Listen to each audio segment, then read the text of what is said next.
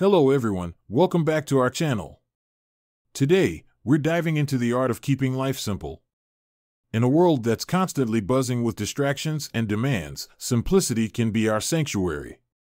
I hope you subscribe to this channel, and I had to throw some coffee in here because you know the creator of this channel loves coffee. Let's start by addressing what simplicity means. It's not about having less for the sake of less, it's about making room for what truly matters. When we declutter our spaces and minds, we make space for peace, creativity, and joy. First, let's talk about physical decluttering. Our environment greatly influences our mental state. A cluttered space often leads to a cluttered mind. Start small. Pick one area, maybe your workspace or a single drawer, and clear it out. Keep only what you need and what brings you joy. Another powerful tool is journaling. Writing down your thoughts can help you process and prioritize them. Make a habit of noting down what's on your mind, and you'll soon find clarity and focus. Now, let's address digital decluttering. Our phones and laptops can be sources of constant distraction. Simplify your digital life by organizing your files, unsubscribing from unnecessary emails, and setting boundaries for social media use. Try a digital detox and see how it feels. Simplifying doesn't mean isolating yourself. It's about making intentional choices. Surround yourself with people who uplift and support you.